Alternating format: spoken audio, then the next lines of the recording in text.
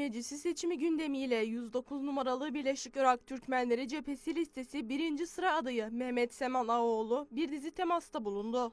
Ağoğlu'nun ilk durağı Türkmen eğitimci Hüseyin Ali Galip'in evi oldu. Burada il meclisi seçimleri ve listeye destek görüşüldü.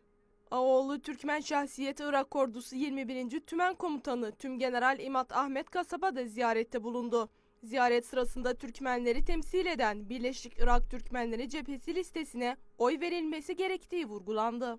Ağoğlu'nun son durağı Bağdat yolu bölgesi oldu. Buradaki bir kafede vatandaşlarıyla bir araya geldi. Vatandaşları seçim kartlarını almaya ve seçime katılmaya çağırdı.